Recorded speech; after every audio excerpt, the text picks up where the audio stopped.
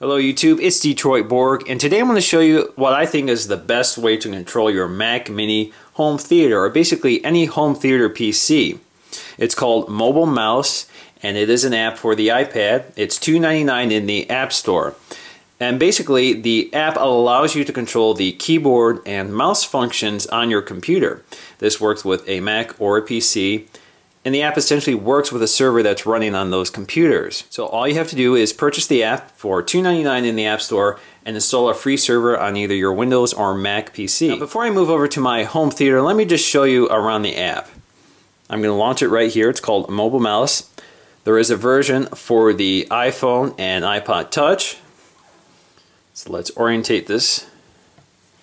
Now as you can see it works in either landscape or portrait mode. Okay, now what you see here is basically a giant trackpad. So I have a multi-touch surface. You can see the highlight of my finger tracing around right now. It is multi-touch, so I can use two fingers at a time. I can't use three or four like you can with a trackpad on a MacBook. I have two computers on my home network right now using the server. So it's connected to the default, which is my iMac. So all I have to do is go up here and I can see my two computers that are on right now on my network running the server. Now uh, I want to go to Mac Mini, so I'm going to select my Mac Mini. It's connected, simple as that. Now of course it does have to be on the local Wi-Fi network. You can't use this over 3G of course. Now let me just do a tour of the app. Up here in this corner right here is a little green dot which indicates the status. It's telling me it's connected. Up here, as I pointed out earlier, is some of the server options. So again, you can select your server or you can enter in an IP address. You can go to other options and you can go to support. I'm not going to go through those details right now. Up here we have two icons. We have the music icon and a web icon. Now this icon brings up the media control. So depending on what media app you're using, this will allow you to control it. So you have the ubiquitous play, pause, frontwards, backwards, up, down, menu, eject, volume up, etc. And here we have the web controls, and th this happens to be Safari. So you see a plus minus sign, which is zoom in and out, stop, refresh, back, search, home, forward, favorites, web address, new tab, or new window. And you can just tap to hide it again and here's the keyboard. And the keyboard is fully featured. Of course it will be unique to whatever platform you're using. And this is a Mac so I have some Mac unique features here. I can see the command option control keys. And of course you have the standard keyboard and you can cycle between the other options of the keyboard. Up here you have all the other options you normally don't see with your keyboard because you're controlling a full Mac at this point so we have the F keys and other function keys. We also have these hotkeys which are programmable, so you can you can program a macro to run a program. So in this case, I have desktop. So uh, in order to see my desktop, I just click this key instead of hitting Command uh, F4. Of course, you can just tap that to hide the keyboard. Now on this trackpad, you also see these controls or these uh, left click or and right click buttons.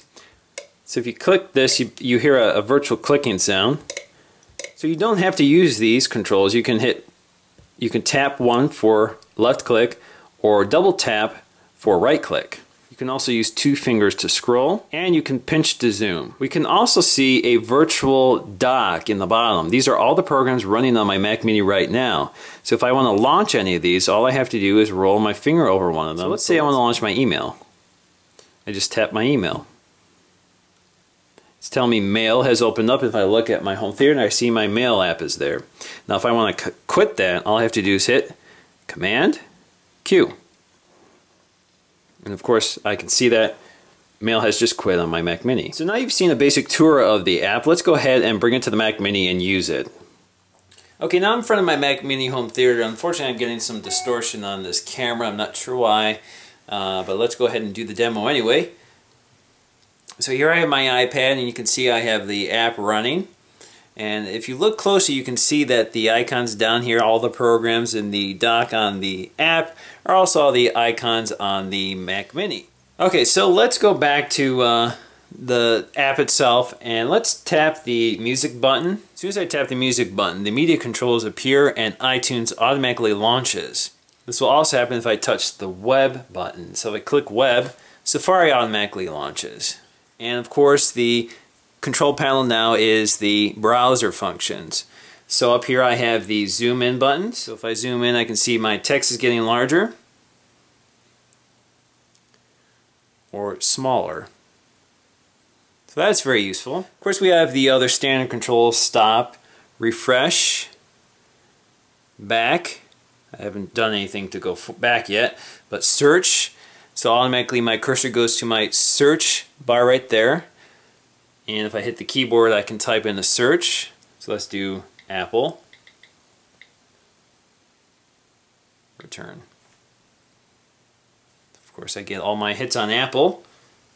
I can hit my home button, which will take me to the Apple page. My favorites, so my bookmarks will appear. And if you select the World Wide Web button, it'll automatically take you to your address bar, so there you can enter in your address. So let's go to CNN.com. Of course, I have .com already. It's smart enough to know that I'm in my address bar.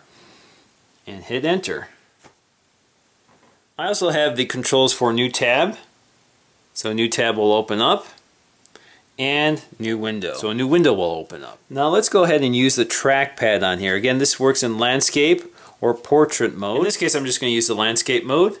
So you can see, again, my finger moving around. You can see the cursor on the screen moving around. Now if I go to Safari, all I have to do is use two fingers to scroll. Or I can go to the side where there's this little ridged indicator which allows me to scroll right there. So it's kind of like a virtual scroll pad. Another fantastic feature about this app is that it recognizes pinch to zoom. So if you pinch, you can zoom in. So it's just like using the control scroll to zoom in on your Mac. So that's web browsing with the AirMouse app. So let's go back to iTunes. Once again, I'm just going to tap the music key.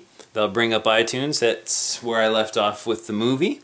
So you can see Star Trek right here. It's paused right now. So all I have to do if I want to play is tap the play button and it will play. I can also increase the volume or decrease the volume. Now, curiously, some controls don't work, and I'm not sure why. Maybe it uh, iTunes doesn't work very well with it, but other media players may work with it. So, for example, the full screen button doesn't do anything. The visualizer doesn't do anything. So not all of the media controls work as expected. So that's kind of a disappointment. But of course you can control it the, in other ways. So I can go ahead and bring up the keyboard if I want full screen mode, I just hit Command F. So that brings in full screen.